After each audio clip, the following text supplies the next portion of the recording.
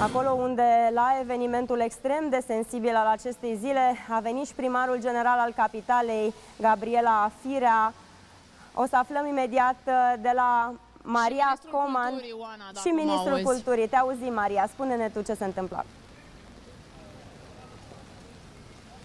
Acum e o agitație un pic, a venit, spuneai și tu, primarul general al capitalei, a venit și uh, ministrul culturii, e un pic mai multă agitație decât uh, uh, în orele trecute, când au fost uh, mulți oameni obișnuiți, veniți aici, uh, pur și simplu ca să arate că participă și că înțeleg ceea ce se întâmplă și că evenimentul acesta este unul important până la urmă pentru fiecare dintre noi. Am văzut uh, uh, foarte multe doamne care au venit aici aducând o pereche de pantofi roșii, uh, pantofi roșii pentru că poate ar trebui să amintim acest lucru, pentru că uh, pantofii roșii sunt uh, uh, ceva la care țin în general femeile și de care se despart destul de greu.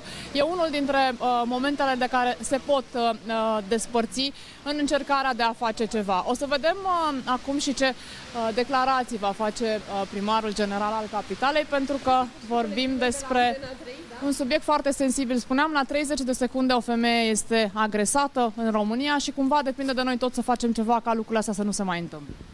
Bună ziua! Sunt împreună cu doamna Silvia Radu, primarul municipiului Chișinău, care se află în vizită oficială la București și mă bucur foarte mult pentru că a putut participa și la acest eveniment și alături de domnul ministru al Culturii și Identității Naționale, George Ivașcu. În primul rând, vreau să vă felicit.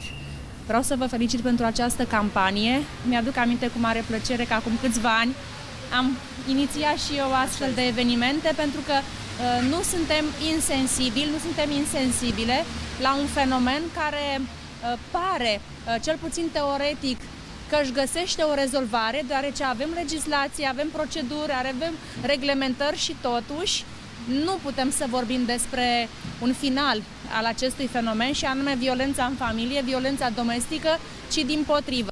Și așa cum uh, spuneați uh, în cadrul întrebării, uh, la câteva secunde o femeie din România este afectată și este victima violenței domestice.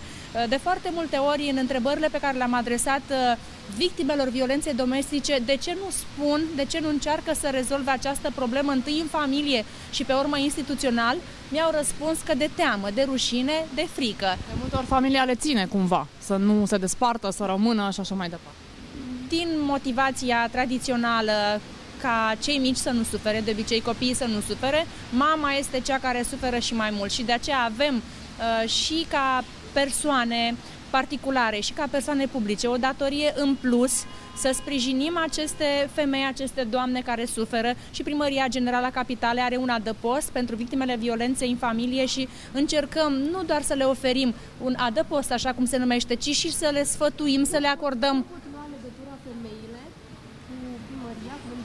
Noi avem uh, un uh, tel verde, avem și direcția de relații cu publicul, avem și pagină de Facebook și e-mail și uh, până acum au, ne-au găsit, ne-au găsit foarte rapid. Ideea este să se întâmple cât mai puțin, dar atunci când totuși uh, avem un astfel de fenomen și sunt astfel de situații, uh, prin Direcția Generală de uh, Probleme Sociale, în colaborare cu Poliția Capitalei, împreună cu toate celelalte instituții care se ocupă, repet și îmi reiau uh, ideea, nu doar să oferim un adăpost victimelor violenței uh, domestice, ci și un uh, sfat uh, social, uh, o opinie medicală, un uh, gând bun psihologic și sprijin, sprijin și material, pentru că de foarte multe ori, în urma unui astfel de gest, o femeie pleacă de acasă cu ce are pe ea. Nu mai are îmbrăcăminte, nu mai are alimente, uh, de multe ori uh, nici nu lucrează și de foarte multe ori am ajutat să se încadreze în muncă, să-și ia viața în propriile mâini și să poată să fie independentă în sensul asigurării traiului zilnic pentru ea și pentru uh, copiii săi. Și sunt convinsă că și doamna primar din Chișinău are de asemenea programe și preocupări în această direcție. Aveți, uh, uh, apropo de adăposturi, pentru că vorbea uh, doamna primar despre adăposturi, e o problemă reală și uh, la dumneavoastră?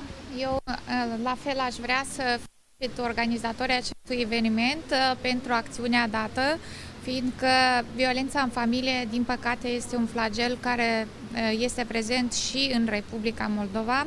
Uh, eu am participat personal la mai multe evenimente ce ține de promovarea drepturilor femeilor și apărarea acestor drepturi uh, și la Chișinău avem uh, situații similare în care femeile pot recurge la un telefon specializat pentru a fi protejate dar cred eu că suntem deja în secolul 21 și nivelul civilizației la care am ajuns nu poate tolera astfel de... Dar din păcate se întâmplă.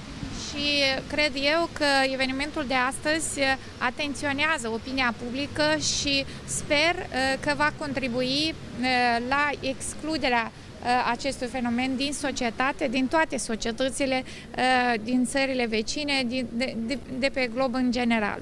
Că faptul că dumneavoastră sunteți două doamne primari e uh, important ca mesaj în sine. Domnule ministru, vă rog, e un fenomen, spuneam, care din păcate la noi este extrem de extins, cel legat de violența în familie și este, pentru că sunteți ministrul culturii, din păcate, repet, o problemă culturală, de educație. De, într-adevăr este o problemă de educație. În primul rând vreau să o felicit pe Alexandra Stoicescu pentru acest lucru. Sunt sunt aici pentru că eu cred că o femeie trebuie iubită, respectată și îndemnul meu către toți bărbații este următorul. Atunci când fac acte de violență să nu, să nu uite că au o mamă și că femeia din fața lor este și ea la rândul ei mamă și să o respecte ca atare. Și poate atunci măcar se va liniști și o va privi cu dragoste. Dar știți că sunteți printre puțini bărbați care au venit astăzi aici, oricum mai puțin decât femei, da? Pentru că, iată, s-a ales o zi foarte frumoasă, ziua îndrăgostiților și cred că îndemnul meu spre a ne iubi, a ne respecta este mult mai important. Drept care mm, sunt aici pentru că sunt alături de dumneavoastră și vă respect. Vă mulțumesc foarte mult uh, tuturor și... Vreau doar să le mulțumesc enorm, să-i mulțumesc doamnei primar general, să-i mulțumesc doamnei uh, primar interimar Silvia Radu și domnului ministru și să mai spun un singur lucru, cinci femei au fost ucise doar de la începutul acestui an de așa zis iubiți sau de soți. Să ținem asta minte. Și cred că 10 bătute de când am început această transmisie, cel puțin.